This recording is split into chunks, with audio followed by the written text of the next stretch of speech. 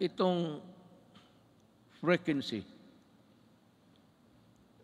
frequency ng ABS-CBN, yan ang pinaka-ideal kasi, you know, frequency is everywhere.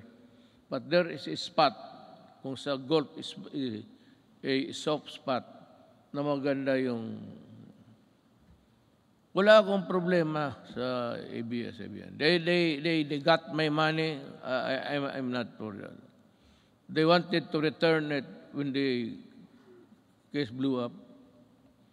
But they printed all the, the, the garbage, uh, including my daughter as a drug trafficker. May, nilamon ko na lang lahat yun. Because I never wanted to be, to appear vindictive. But itong ano, they are cheating government by the billions in taxes. And they still want that uh, frequency because yan ang pinapag-awayan.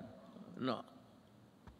I will give it to a Filipino na gustong magawa ng tamang ano unpay because isa ABS-CBN yung even their equipments were imported tax free.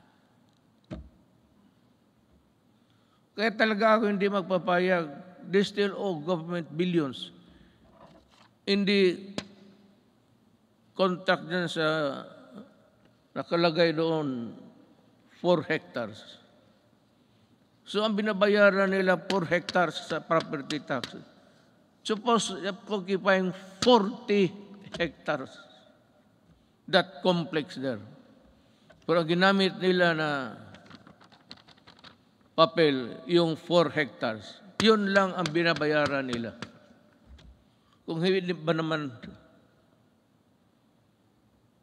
kaya ko sila inaway. Ano, well,